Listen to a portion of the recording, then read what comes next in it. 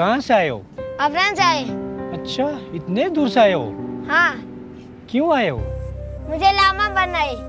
अच्छा आपको लामा बनना है? हाँ। आपका नाम क्या है? तो। आपका कोई भाई बहन माँ पिताजी कोई छोड़ने के लिए नहीं आया आपको? नहीं। है अच्छा लामा क्यों बनना है फिर आपको? भाई बहुत मारता है। मैं भाग के आया हूँ। तो लामा बनना हाँ? चलो फिर मैं आपको लम्हा बनने ले चलता हूँ हाँ। ठीक।